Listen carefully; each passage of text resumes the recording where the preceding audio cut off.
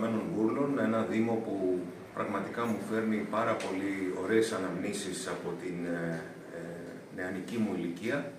Ε, είχα την ευκαιρία να συζητήσω για πολύ σημαντικά πράγματα με τον κύριο Δήμαρχο, ζητήματα τα οποία αφορούν το Δήμο, αφορούν το παρόν και το μέλλον του Δήμου. Ξεκινήσαμε και συζητήσαμε για τα ευρωπαϊκά προγράμματα, την αξία των ευρωπαϊκών προγραμμάτων, πώς αγγίζουν τη ζωή και την καθημερινότητα των συμπολιτών μας, τα έργα τα οποία τρέχουν με χρηματοδότηση των ευρωπαϊκών προγραμμάτων, η αποχέτευση, τα λίματα, η διαχείριση των λιμάτων, η οδική ασφάλεια, τοπικά πολυδομικά σχέδια και ε, κατ' ουσίαν ε, σημειώσαμε ότι αυτή η συνεργασία και ιδιαίτερα η προετοιμασία για ευρωπαϊκά προγράμματα πρέπει να τρέχει έτσι ώστε να οριμάζουν ε, θέματα και ζητήματα για να μπορούμε να προλαμβάνουμε και το νέο Εθνικό Πρόγραμμα Ανάπτυξης το οποίο θα ξεκινήσει ε, να μπει στη συζήτησή μας από το 2025. Ε, ο Δήμος των Καμένων Βούλων ε, και ο Δήμαρχος κάνουν εξαιρετική δουλειά, έχουμε εξαιρετική συνεργασία και κυρίως τα έργα τα οποία ξεκίνησαν προχωρούν με ταχύτητα τους ρυθμούς και πάντα η πολιτεία και το Υπουργείο Εθνικής Οικονομίας και Οικονομικών είναι εδώ έτσι ώστε να στηρίξει τις πρωτοβουλίες των Δημάρχων, δίνοντας ιδιαίτερη σημασία στην, το, στην περιφέρεια και ιδιαίτερα στους Δήμους, Δήμους που κατ' ουσίαν ε, και δημάρχους που κατ' ουσίαν έχουν άμεση επαφή με τους ε, συμπολίτες μας και βλέπουν από καθημερινά τα προβλήματα και αντιμετωπίζουν τα προβλήματα των συμπολιτών μας. Εύχομαι καλή επιτυχία. Ε, η θητεία του κυρίου Δημάρχου ξεκίνησε τώρα. Θα είμαστε στο πλευρό του. Θεωρώ ότι κάνει σπουδαία δουλειά και θα συνεχίσει αυτή τη σπουδαία δουλειά και εμείς θα είμαστε πάντα στο πλευρό του να στηρίζουμε τις πρωτοβουλίες και τις προσπάθειές του. Θέλω να ευχαριστήσω τον ε, αναπληρωτή Υπουργό Εθνικής Οικονομίας και Οικονομικών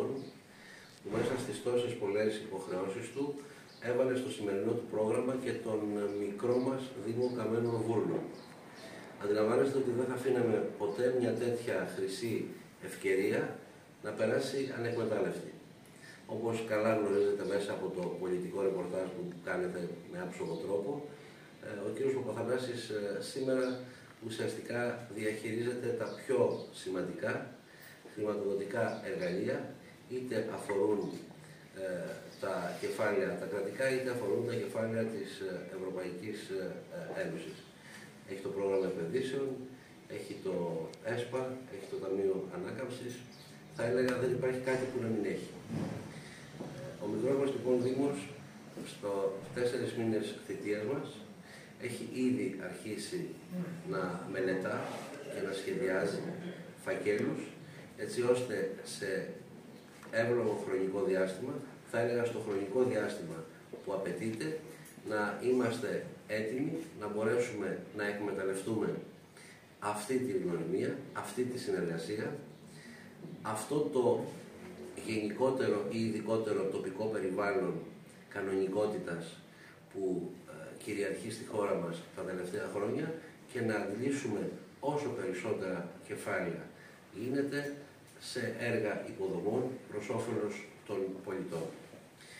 Ε, πρέπει όλοι να αντιλαμβανόμαστε ότι ο χρόνος δεν μοιράζεται σε τμήματα. Ο χρόνος είναι κάτι ενιαίο. Το ίδιο είναι ο πολιτικός χρόνος μιας κυβέρνησης, το ίδιο είναι ο χρόνος μιας δημοτικής αρχής, γενικότερα ο χρόνος. Και γιατί το επικαλούμε αυτό. Σε λίγες μέρες έχουμε ευρωεκλογές. Πέρα από το τι θα επιλέξει, και επιτρέψτε μου να το πω αυτό, ο κάθε πολίτης, ασκώντας το αναφέρετο συνταγματικό του δικαίωμα. Εγώ αυτό που θα ήθελε η ταπεινότητά μου να επισημάνει είναι ότι οι ευρωεκλογές είναι εξόχως σημαντικές, θα έλεγα ενδεχομένως και περισσότερο σημαντικές και από τις εθνικές εκλογές όταν εδώ και πολλά χρόνια η Ελλάδα ως χώρα, άρα και εμείς ως αυτοδιοίκηση, εξαρτώμαστε κυριολεκτικά από τις χρηματοδοτήσεις της Ευρωπαϊκής Ένωσης, άρα εξαρτώμαστε από το ποιοι και πώς αποφασίζουν, νομίζω ότι και οι Έλληνες και οι Ελληνίδες θα πρέπει με την ίδια οριμότητα και με αυτά τα κριτήρια και αυτή την σπουδαιότητα στη σκέψη τους να προσεγγίσουν τις επερχόμενες εκλογές που δεν είναι εκλογές ούτε για αποχή ούτε για μπάνια. Είναι εκλογές που θα σημαδέψουν τα επόμενα χρόνια το πώς και πού θα πάει η Ευρωπαϊκή Ένωση άρα κατ' επέκταση και η χώρα μας.